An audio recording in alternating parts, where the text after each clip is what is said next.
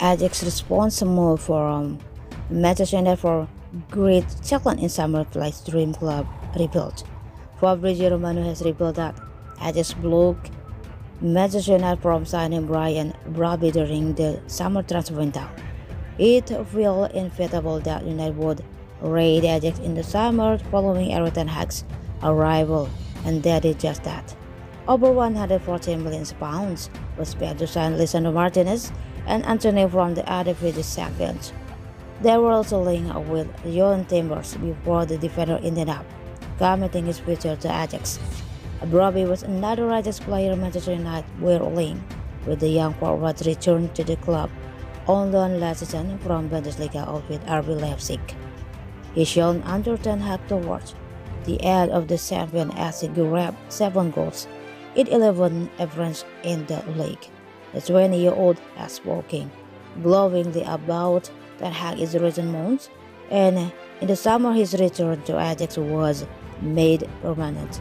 Speaking of the, this move, he did admit that it is a dream of his to play for Manchester United.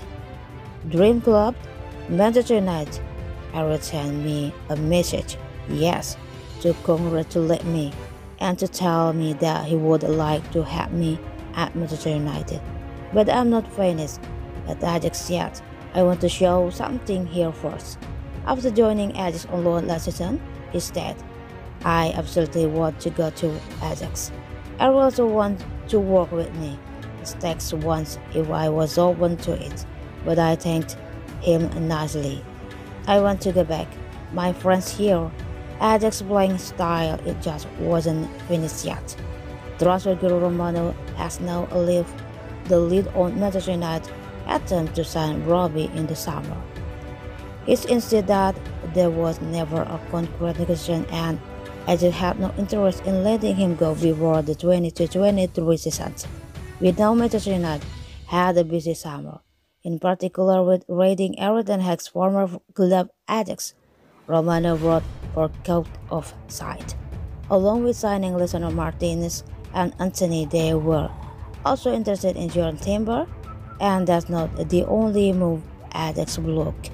Brian Brobbey has opened up about an approach from Ten Hag and it's made it clear in an interview with ESPN that he would love to play for United, but what really went on with these talks?